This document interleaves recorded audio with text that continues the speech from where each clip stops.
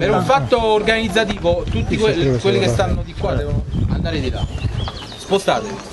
Sono arrivati a Carbonara, prima di cominciare volevo lasciare, volevo lasciare un attimo la parola al vice sindaco che ci ha raggiunto, ha avuto un problema familiare e quindi ha poche ore di sonno ma è riuscito comunque a stare qua con noi, non è venuto il sindaco e in degna rappresentanza. Antonio è un'altra delle persone che porta la croce rispetto all'eolico selvaggio, eh, io lo dico io, è una mia affermazione, non tutti nell'amministrazione eh, hanno preso a cuore come Antonio la questione anche se le dichiarazioni sono di tutt'altro tipo. Antonio è con i comitati ed è sicuramente diciamo, in linea con le nostre aspettative e fa una battaglia all'interno dell'amministrazione anche se lui vi dirà che è tutta l'amministrazione a lavorare, a lavorare per questa cosa. Noi siamo riconoscenti ad Antonio per la vicinanza, la presenza e ovviamente per uh, il portato istituzionale che ci, che ci offre.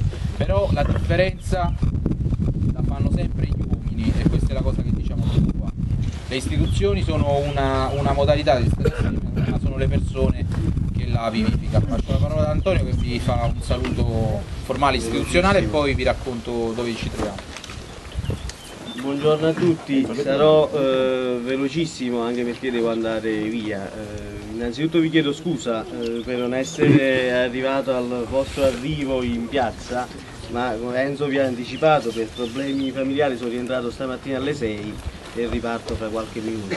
Quindi innanzitutto benvenuti ad Aquilonia, eh, avete visto scendendo qui un ottimo, un bel paesaggio, un territorio tutto da riscoprire perché purtroppo da un po' di tempo viene deturpato, deturpato da quella che è l'eolico, l'eolico selvaggio. Penso vi ha anticipato, io sono molto vicino ai comitati, ma l'intera amministrazione anche se Enzo non è convinto, sta mettendo in piedi una serie di attività per bloccare questo scempio che sta avvenendo nostro queste visite, questa, questa, presenza questa mattina dimostrano quando il territorio, la gente irpina è legata al proprio territorio, alle sue origini e alle sue tradizioni. E a noi fa molto piacere.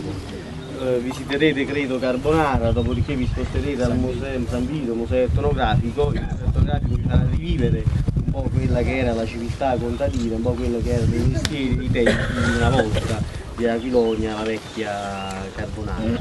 Io vi auguro un buon eh, trattenimento qui sul nostro territorio e una buona continuazione di giornata. Grazie. Grazie.